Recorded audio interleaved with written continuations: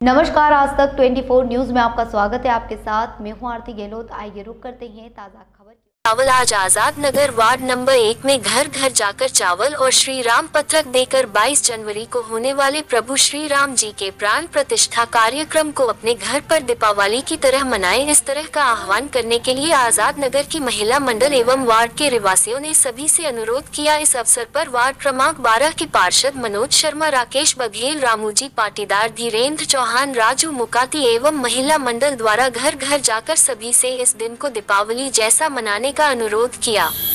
जिला chief bureau Shakeel Mansuri की report.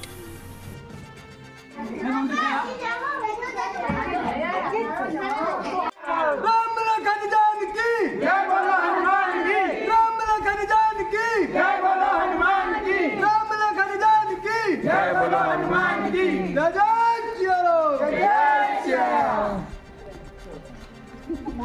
इतना ही। आगे की तमाम जानकारी के लिए आप हमारे साथ बने रहे और चैनल को लाइक, शेयर, सब्सक्राइब करना ना भूलें।